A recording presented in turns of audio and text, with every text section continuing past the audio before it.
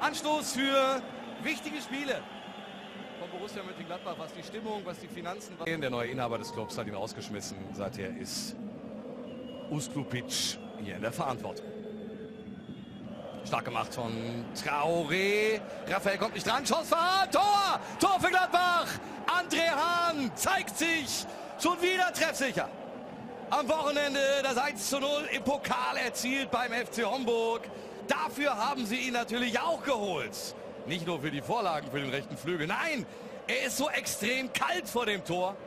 Und er knallt den Ball unwiderstehlich ins kurze Eck. Schaut mal, der fackelt gar nicht lange. Erstmal super vorgearbeitet von Rafaelo Traoré. Und dann kommt der Hahn und nagelt den einfach ohne lange nachzudenken hoch in den rechten Giebel. Aber das ist natürlich überragend vorbereitet von Traoré und Raphael. Und Hahn ist dann eher für die rustikale Methode verantwortlich und haut das Ding rein.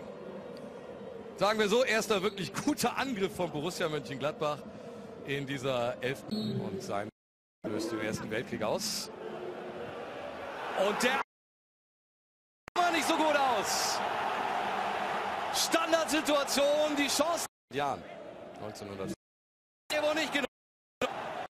Diese Standardsituation und den Fehler. Äh, Jan Sommer haben sie. Rigid. Ich glaube, Ski. Bojan Pusigac. mit dem Freistoß. Ja, ist ein eindeutiger Torwartfehler. Kann nicht schönreden. Schönreden. 1 zu 1.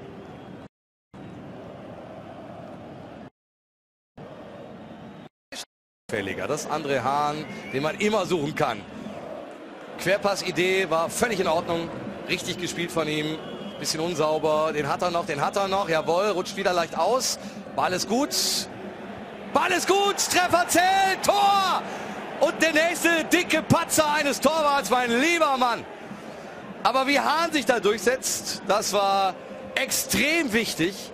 Hat sich den Ball oder hat ihn auf der Außenlinie noch weggekratzt. Und dann die Flanke weit und lang hereingehoben. Und Branimir Hrgota macht genau das, was er auch in Homburg gemacht hat, was wir eben angesprochen haben. Aber hier, die Vorarbeit, die ist extrem gelungen und wichtig von Andrea. Aber was macht der Keeper denn da? Was macht denn Dijan Bandovic? Aber auch da muss man als Stürmer erstmal hin, muss diesen Ball erahnen, riechen. Alles gut. Das Leder war innerhalb des Vierecks. Nächster dicker Torwartpatzer und es steht 1 zu 2. Und im Moment deutet wirklich vieles darauf hin, dass Borussia Mönchengladbach binnen fünf Tagen... Auch da der Ball zu früh weg. Kein Foul. Alles gut. Gelegenheit ist da. Lekowski ist da. Das Tor! Und es war Duljevic. Aber die Gladbacher haben es wieder selber heraufbeschworen durch Ballverluste. Wie den von Hahn in der Vorwärtsbewegung. Und dann ging es einfach schnell.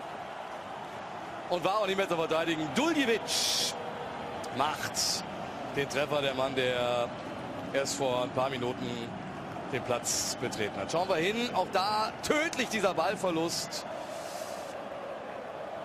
Dann sieht Johnson natürlich auch nicht so wahnsinnig gut aus, aber in der Mitte haben sie zum dritten und vierten Mal den Platz, um abzuziehen. Drei, vier Mal konnten die Gladbacher das Ding noch blocken, aber Duljevic findet jetzt die Lücke und da kann man Jan Sommer bei Gott keine Schuld in die Schuhe schieben. Den kann er nicht halten. Völlig machtlos. Der Schweizer Keeper, das haben die Männer vor ihm verbockt. Aus 16 Metern genau darf man natürlich Duljevic nicht abziehen lassen.